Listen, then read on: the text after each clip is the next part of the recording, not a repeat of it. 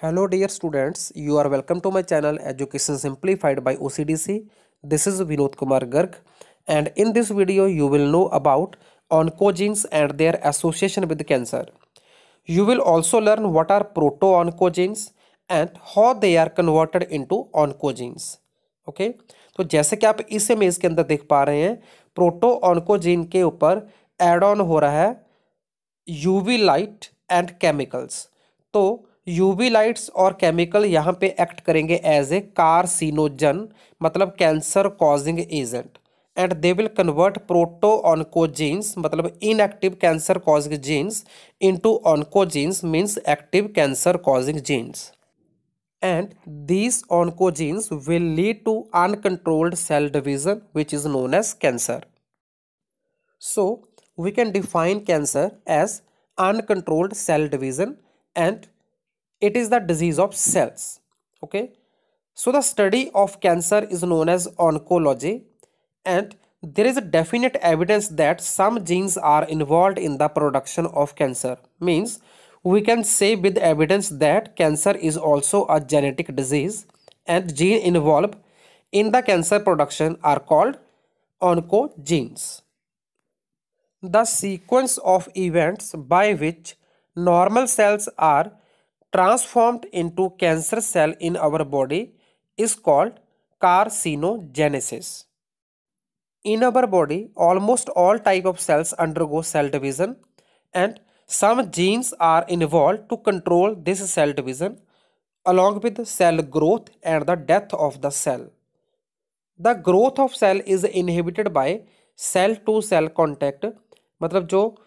Unlimited growth होती है जो अनकंट्रोल्ड ग्रोथ होती है उसको सेल और सेल का आपस का जो कॉन्टैक्ट है वो रोकता है। In cancer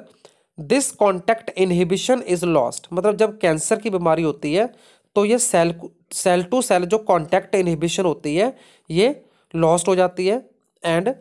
डिवीज़न जो होती है वो अनकंट्रोल्ड हो जाती है। सो so, उसी अनकंट्रोल्ड डिवीज़न को हम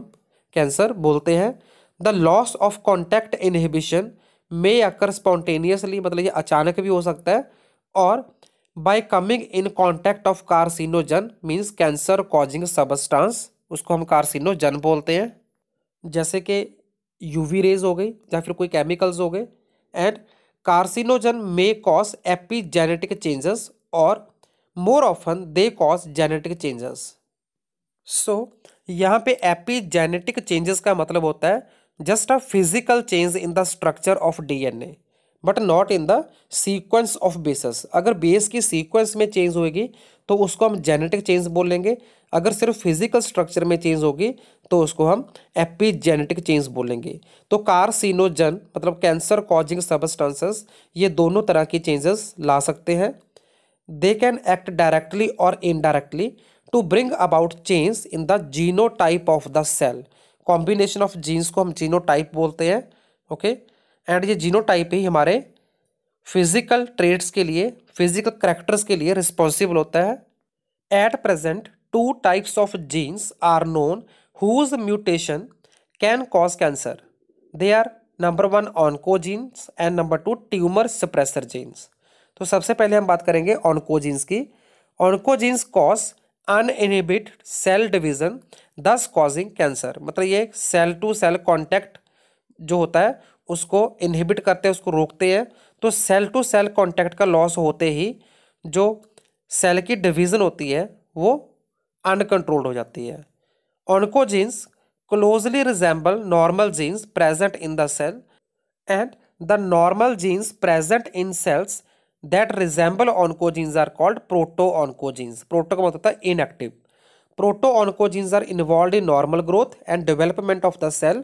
मतलब जो प्रोटो ऑनकोजीन होंगे वो नॉर्मल ग्रोथ करेंगे सेल की और नॉर्मल डेवलपमेंट करेंगे. But in cancer normal function of proto oncogene is changed due to some alteration in the form of broken fragment और amplification.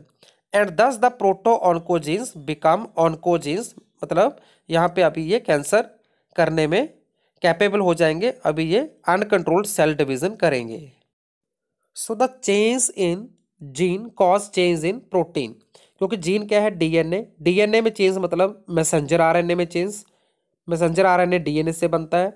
तो प्रोटीन आगे मैसेंजर आरएनए से बनेगी तो इसका मतलब अल्टीमेटली प्रोटीन में चेंज आएगी। तो जो भी प्रोटीन में चेंज आएगी, वो अपना स्पेसिफिक इफ़ेक्ट जो है वो प्रोड्यूस करेगी बॉडी में, जैसे कि जहाँ पे कैंसर प्रोड्यूस कर रही है। Many tumour causing viruses have C oncogenes और V oncogenes that cause cancer so here C stand for cancer and V stand for viral some known viruses that are associated with cancer are number one Epstein Barr virus ये करता है Burkitt's lymphoma human papilloma virus, ये करता है cervix cancer in females, okay? Cervix होता है mouth of the uterus. And next आता है hepatitis virus which leads to hepatocellular cancer मतलब ये लिवर का कैंसर करता है। अब हम बात करेंगे ट्यूमर स्प्रेसर जीन्स की। The tumour suppressor gene are present in normal genome and control uninhibited cell division तो यहाँ पे जीनोम का मतलब होता है total number of genes in one individual तो उसको जीनोम बोलते हैं। तो tumour suppressor gene normal genes में प्रेजेंट होता है नॉर्मल जीनोम में ओके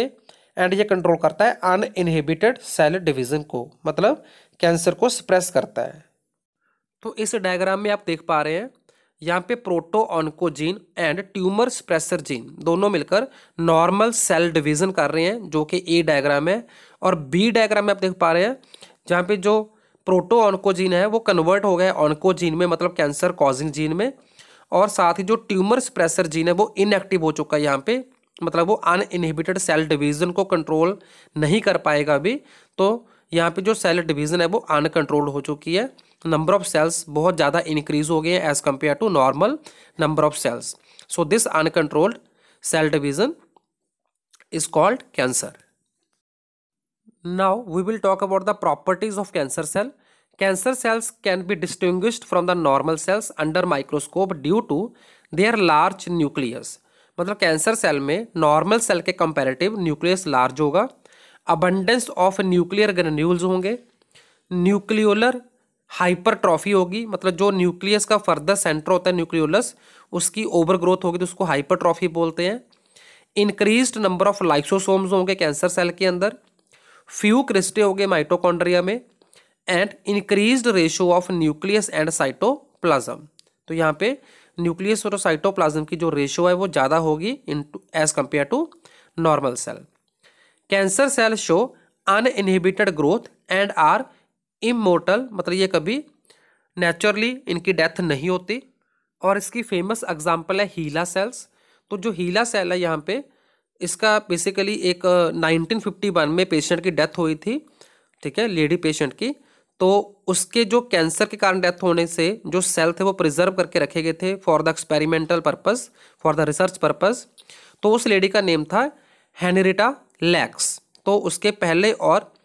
जो सेकंड नेम होता है, उसके दोनों से फ़र्स्ट दो लेटर लेकर ये हीला सेल्स नाम दिया गया है ओके ही जो है वो हैनरेटा है और एल से लैक्स है।